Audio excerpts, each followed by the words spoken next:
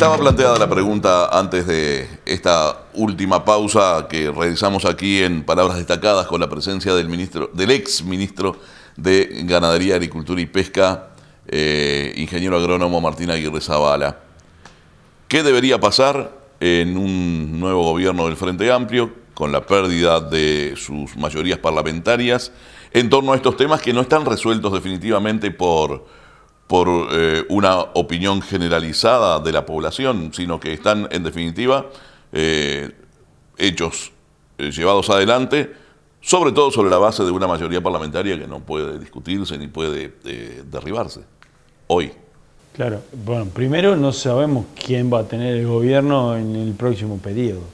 Yo creo que cualquier gobierno que, que tuviera debería sensatamente recorrer el mismo camino que en todo caso se debería eh, recorrer hoy, que es evaluar bien lo que tiene en la mano.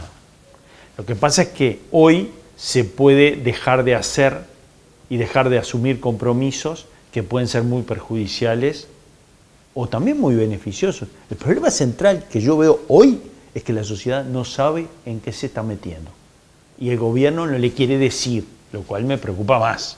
Entonces, como el gobierno no me dice lo que quiere hacer, no me dice cuál es el estudio de impacto ambiental y quiere firmar antes de tener estudio de impacto ambiental y quiere hacer eh, un contrato antes de tener este, la anuencia del conjunto de la sociedad, bueno, me parece que está tomando un camino muy riesgoso.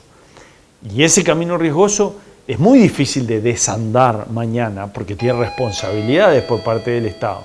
Y bueno, esa responsabilidad se le tendrá que transferir a los, a los, este, a los gobernantes de turno, que son los de hoy, que, no, que terminarán procesados de vuelta, o terminarán quedándose con el beneficio de haber hecho las cosas bien. El problema es que hoy el Uruguay este, no, tiene suficiente información para dirimir eso y, todo está hecho para que no la tenga. Y por eso creo que, que lo más prudente es decir, bueno, paren, yo no es que esté en contra ¿eh? y ni el Partido Colorado está en contra de un desarrollo minero del Uruguay. Lo que está preocupado por las consecuencias que tenga, por los costos que tenga y porque una vez que se destruye ese recurso que no es renovable, no se puede volver a traer. No se puede volver a producir hierro para, transformarlo en acero o en, o en industria siderúrgica. Ya no se puede. Hoy la soja se puede mandar sin industrializar y mañana venir, poner una industria, plantarla de vuelta, producirla de nuevo e industrializarla y ponerle trabajo adentro. Esto otro no se puede hacer. Entonces hay que tener más cuidado con ese recurso que es de todos. Eso no quiere decir quedarse quieto, parado y, atado. No me parece bien. A mí me parece bien que se vaya para adelante, que se estudie, pero que se estudie y, que, además se le dé a la sociedad la oportunidad de discutir. Yo no voy a ser el que me oponga eh, en forma este, eh, fundamentalista a, tal o cual cosa. No, voy a ser el, que trate de estudiar, entender los beneficios que, tenga, que va a tener la sociedad y entender también los costos que tiene que pagar y, ver si ese compromiso es razonablemente eh, adecuado para la sociedad en que vivimos. Martín, tampoco está muy claro, a ver, está claro cuántas hectáreas ocupará este emprendimiento.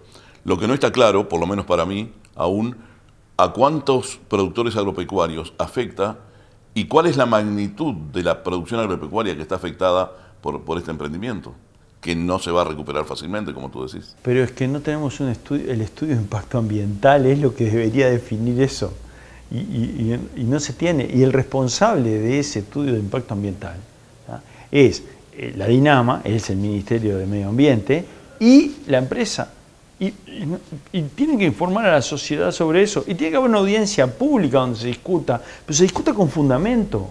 Entonces, hoy eh, se dicen algunas cosas que en realidad dice, bueno, vamos, se van a afectar tantas hectáreas en forma directa. Pero ¿cuál es la garantía que eso es así? ¿Y, ¿Y, dónde está escrito? ¿Y dónde se le comunicó a la sociedad que efectivamente es así? Si el plan lo están reelaborando y si el el, proyecto de, el plan de impacto ambiental todavía no está. ¿Quién te dijo que era realmente tantas hectáreas o tantas otras? ¿Y cómo es que se anuncia entonces que es inminente la firma del acuerdo? que ahí es donde yo creo que está la irresponsabilidad en la cual estamos metidos.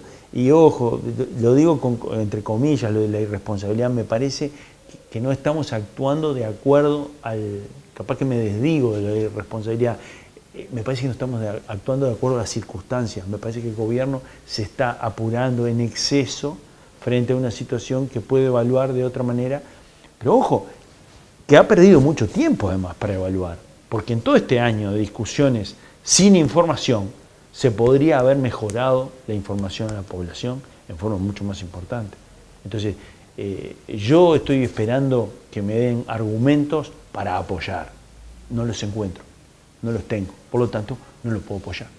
Eh, el ingeniero agrónomo Martín Aguirre Zavala nos volverá a visitar seguramente en una semana. En estos siete días seguramente ocurrirán cosas como para comentar en esa oportunidad y para mirar el presente con una perspectiva de futuro.